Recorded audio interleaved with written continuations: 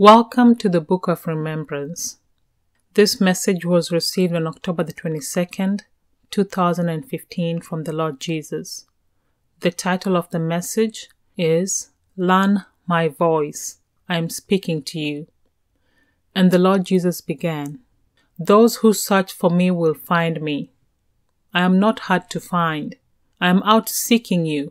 You do not have to look hard to find me. I am here waiting for you to open the door of your heart. Many people think they need to pray and fast for days on end for my presence. No, I am here, ready to come in.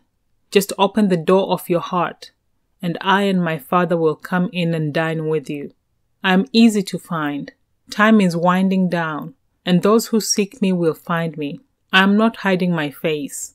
I am not silent. All who seek me will find me. Now, to have a deeper walk in me requires spending some time in my presence. This is for those who diligently seek me and desire to see my face and not just the blessing of my hand. I am here waiting for the invitation to step into your heart. You will know me. You will learn my voice as I speak softly to you, as I speak to your heart and nudge you with my spirit. I am seeking those who desire me in their lives I promise I will not be silent with you. As you learn to recognize my voice, you will realize that I am constantly talking to you all day long. I desire the presence of my beloved. You do not have to seek me for long. I am here waiting to step into your heart. I am preparing my bride for my coming. Therefore, I will speak to her constantly, to encourage her, correct her, and motivate her to minister to others in my name. My bride, I am coming for you. More and more people are learning to hear my voice. They are recognizing me and they're realizing that I have been speaking to them for a long time. They just did not know that it was I who was speaking to them. I desire a bride that I can communicate with. So come, my bride, let us commune. Let us reason together, my cubs. Though your sins are like scarlet, I will make you white as snow. Though your garments are filthy rags, stained with sin, Yet I desire to give you a new garment, a robe of righteousness. I'm calling to all now, that many may wake up and be ready for my coming. Yes, I do desire a substantial harvest at my coming. I desire a bountiful bride. I'm sorry to say that many are ignoring my calling, though I call them constantly to me. Though I send my prophets and priests to them, they have turned a deaf ear and will not listen. Some have cast out and offended those messengers I have sent to them to awaken them to the lateness of the hour. They are too embroiled in the world. They seek earthly pleasures more than the heavenly gift. It breaks my heart to see them so concerned about fleeting, fickle things that belong to this world, while they ignore their everlasting abode that I have prepared for them in heaven. They seek earthly homes, whereas I have built mansions for them in heaven. The pleasures of this life are temporary. You cannot take all the wealth and money you have hoarded to heaven with you. Money is a currency that belongs in this world. You need a different currency to enter into my rest. You need to know me, for none will come to the Father but by me. I am the currency that gives you access to heaven. I am your bountiful reward. Everything else is second place to me. I love you, my cubs. That is why I am calling you early, before the rapture, that some of you may escape the tribulation period and become my brides instead, ready for me to come and get you on that day of victory for my bride. I desire a bountiful harvest, so let those who have an ear to listen, listen and respond. Let them be ready when I return to take them to their abundant rest. As for those who still harden their hearts, even after I have made it plain what they will face in the tribulation period. I will have no choice but to leave you behind. When you see me come and take my bride, all your toiling will come to naught. You will realize incredulously that you have been wasting time, ignoring your soul that you may please your flesh. Your desire for earthly goods and glory will cease, and you will all of a sudden realize that you are deceived. You are deceived by your flesh, your selfish ambition, and your pride. Now turn back to me, seek me, I will be found by you.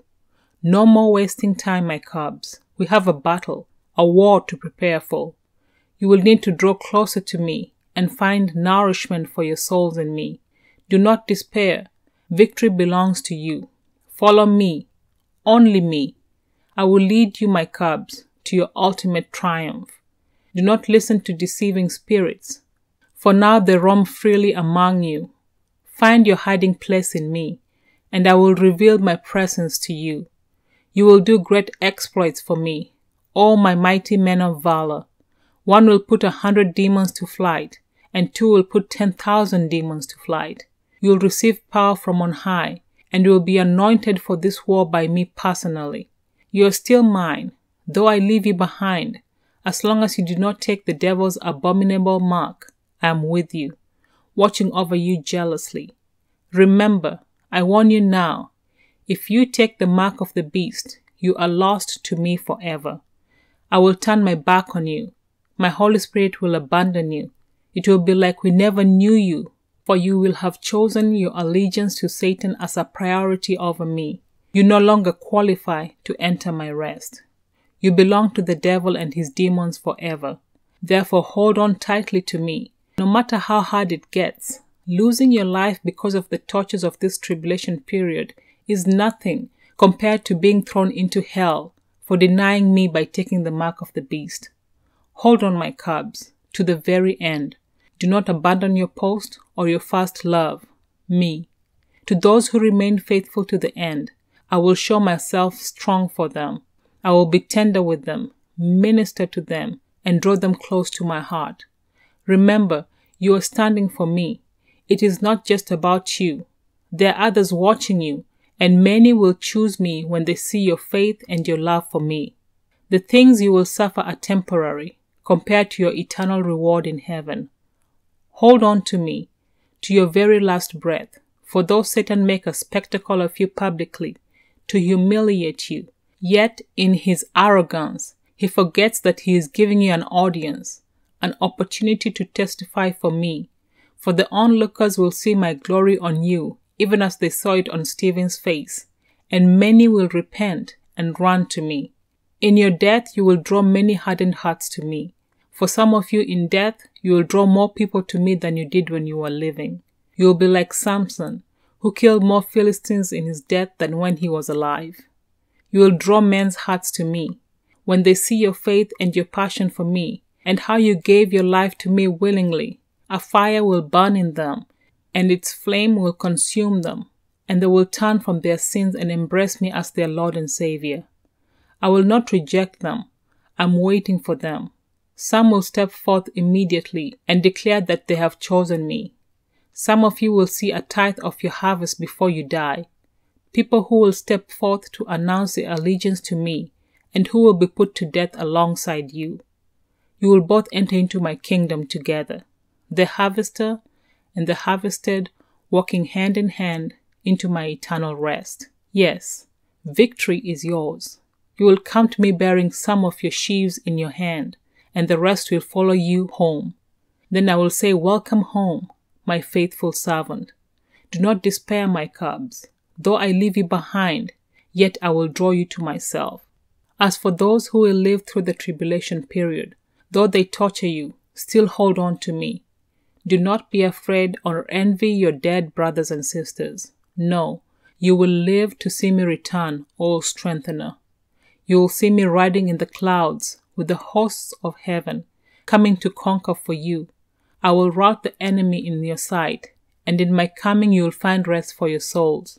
Let those who hear my voice take heed. Either prepare now and come home with me as my bride in the rapture, or be left behind and fight like my cubs. Remember, if you're left behind, do not take the mark of the beast, even under the threat of death to you and to your loved ones. Death is the least of your problems. If you give in and take the mark, you are damned for all eternity.